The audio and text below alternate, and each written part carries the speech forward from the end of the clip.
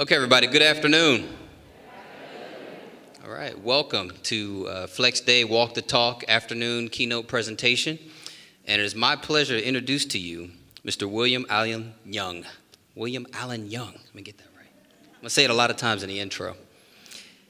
Mr. William Allen Young is a true leader who rose from humble beginnings in an inner city dwelling to achieve success and national fame as an acclaimed American actor, director, motivational speaker, and visionary leader. Mr. Young is recognized by millions of worldwide fans as Frank Mitchell, the loving father on the long running TV series Moesha, or as Judge Ratner on CSI Miami. His acting career includes starring roles in more than 90 television, stage, and film productions, including two Academy Award nominated films, A Soldier's Story, and District 9.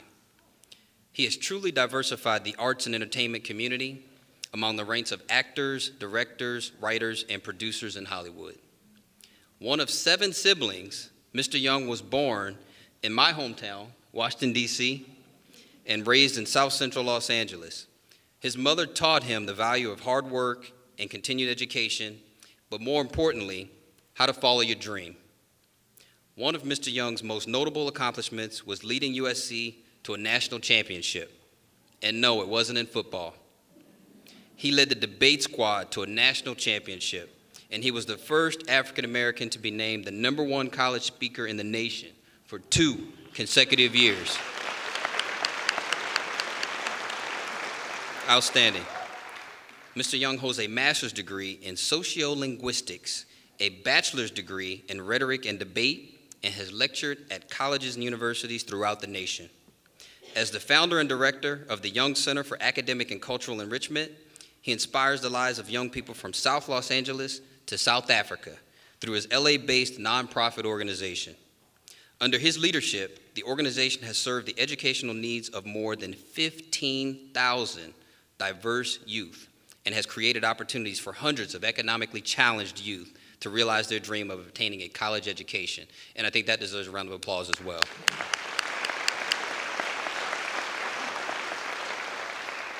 Today, Mr. Young is in demand as a professional motivational speaker for such diverse organizations as Northrop Grumman, the NAACP, Raytheon, American Federation of Teachers, Western Association of College Admissions Counselors, New York State Public Schools, and the California Community College System.